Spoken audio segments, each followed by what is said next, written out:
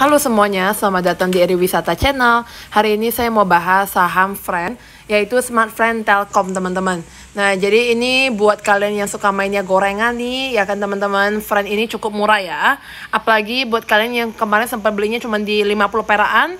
Nah, ini harganya 83 teman-teman. Nah, di sini malahan hampir menuju ARB ya. ARB-nya atau auto reject bawahnya itu di level 80 ya.